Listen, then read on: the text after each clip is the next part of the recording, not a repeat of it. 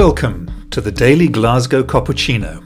Start each day of COP26 by drinking in a few minutes of warm, stimulating conversation about climate resilience. I'm your host, Peter Willis from the Resilience Shift. Shall we begin? My guest on this morning's cappuccino is Wanjira Mathai. Wanjira is the Vice President and Regional Director for Africa at the World Resources Institute. She was for many years chair of the Greenbelt movement, the movement that her mother, Wangari Maathai, the Nobel Peace Prize winner, founded in 1977. Wanjira is currently chair of the Wangari Maathai Foundation. In the run up to COP26, Wanjira has been appointed a friend of COP. I'm speaking to her at her home in Nairobi, Kenya. So, Wanjira, it's lovely to have you here as always. Thank you so much for joining this uh, cappuccino. You have spent a lot of time in the last year talking with colleagues around Africa, which is your territory uh, with the WRI. And I would be interested to know how your colleagues are talking about resilience and the challenge that's presenting to them, and what is the hope that they're bringing to Glasgow? resilience is getting a lot of attention. It's getting good attention in terms of momentum, but COP26 will really be the proof uh, of the pudding to see if we're really serious about, uh, about res- building resilience and certainly the adaptation agenda. A lot of my colleagues are concerned about the usual gaps that we've seen. We've seen significant gaps and therefore the signals that adaptation is important and central. So we've seen gaps in finance. We've seen absolutely very low commitment. I've even started thinking these are smoke and mirrors now. We are starting to see a certain amount of smoke and mirrors in how we account for adaptation finance, different people counting different things, pooling um, development aid back and, and, and counting it as adaptation finance there is no solidarity or commitment to address the adaptation agenda. And that has been perplexing to many, especially those who live in these situations. There's a certain amount of urgency. Another issue that my colleagues and, and I are, are concerned about is just how all of this is um, jeopardizing the trust that must hold the, the Paris Agreement together. We cannot have a Paris Agreement that is only focused on mitigation. I've always been struck by the fact that when new NDCs were being submitted for the 2020 deadline, countries like Rwanda were the very first to put in ambitious um, NDCs, and yet they are amongst the lowest emitters. This is the sort of commitment that we are showing to the mitigation agenda. We are not seeing the same uh, treatment on or for adaptation. So we're feeling that this is the moment and this must be the COP where those issues are not only acknowledged, but the finance clear roadmaps are put in place. And certainly that we start to see the issue of loss and damage as a permanent item of discussion at the COP. What, in your view, is the the power beneath that loss and damage item on the agenda that you believe should be much more prominent now. Can you explain that to our listeners? We have almost um, been seduced into the whole mitigation agenda. We have to keep 1.5 alive. And implicit in that is almost that that's what's at stake.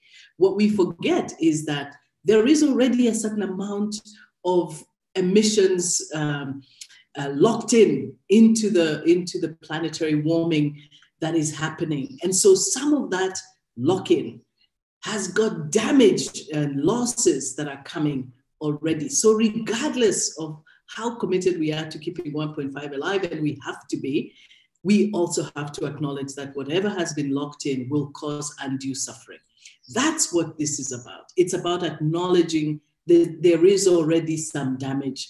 There is already some uh, warming going on that is part of the status quo and is part of what we will see regardless of the action we take and even how ambitious that action is. Because that lock-in is spelling doom for many countries. Sea level rising, flooding, forest burning. So it's almost like there's a hole in the bucket. If we keep focusing on just filling this bucket and not plugging the hole, we'll never get there. And so there's a lot of damage that we have to deal with, regardless of the action we take. And that's what that's about.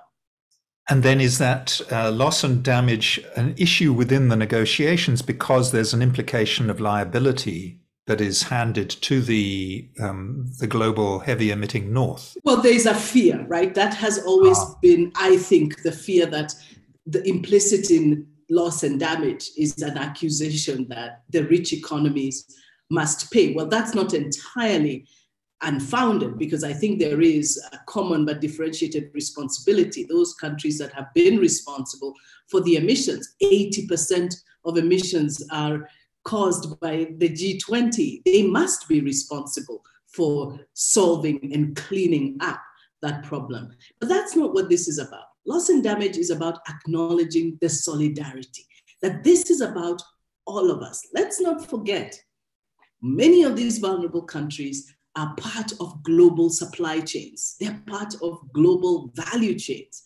We can't afford to have some of those countries uh, focusing on loss and damage on their own because it will affect our supply chains and our value chains. We don't have to be reminded about that, Peter. We saw it happen with, with uh, COVID and, and the, the, entire disruption that happened. I, when I consider my own continent, our, our continent, Peter, Africa, we think about the fact that from agricultural products like cocoa, coffee, tea, um, you know, all sorts of minerals. These are part of the African uh, supply chains that make it into the global supply chain. So that solidarity is what it's about. I don't mind that some people feel a deep sense of responsibility. They should. But I think it's important to remember that that's not the only thing on the table, that responsibility should also be coupled with the solidarity, that we are all in this together and that we cannot um, and we, but we also have to acknowledge that some are suffering more than others.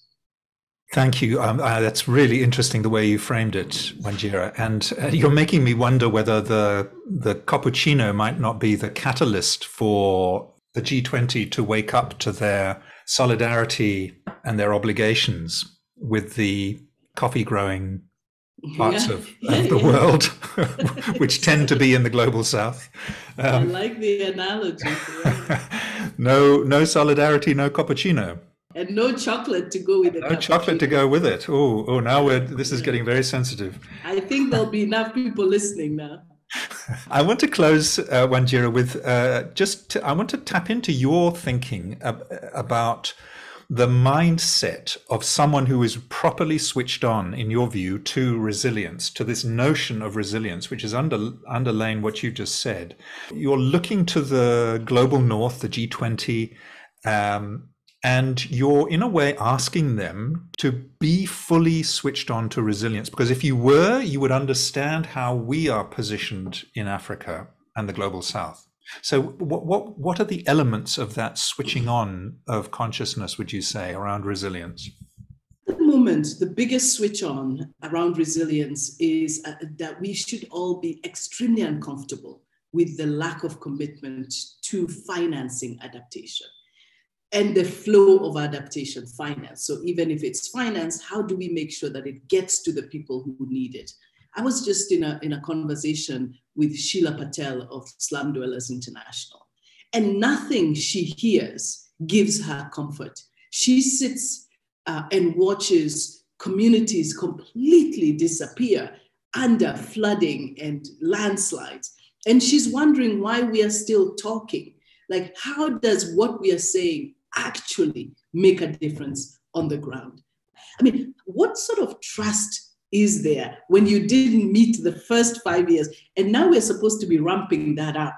So we will be simultaneously calling for the backlog, but also looking to set much more ambitious. I think the number is 6.3 trillion a year that's needed for adaptation. So 100 billion is but a symbol of what's needed. What is the infrastructure we need to hasten that finance? And where is that finance to, in the first place? So I'd love to see some very anxious, uh, distressed uh, delegates of the G20 saying, surely we can't have this.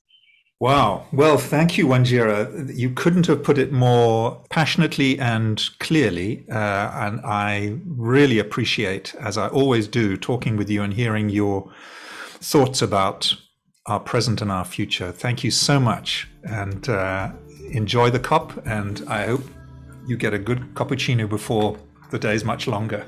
Absolutely. I will be enjoying the cup. Thank you very much, Peter.